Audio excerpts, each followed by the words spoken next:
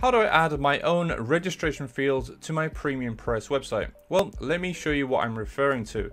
In front of me we have one of the registration pages for our PremiumPress theme.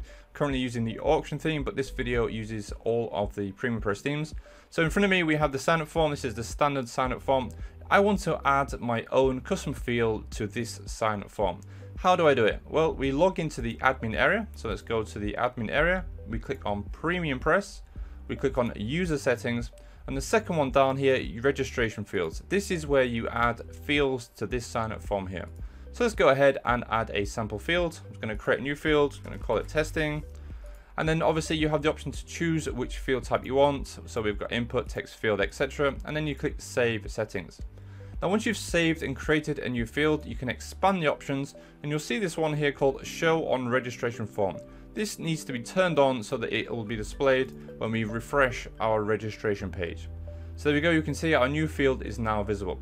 If you want this to be a required field, which means the user must fill out this information, make sure when you expand this box, you enable this option here called required field. And that way then the user must fill out this information when they um, go ahead and register on your website.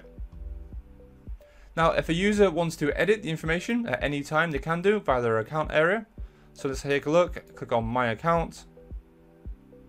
Under my settings, any field you add will also be available here so that you can go ahead and edit it at any time later on. So there we go, a very quick tutorial on adding custom fields to your registration form. If you found this useful, please give it a thumbs up and I'll keep creating content just like this one. Thanks and I'll see you in the next video. Bye for now.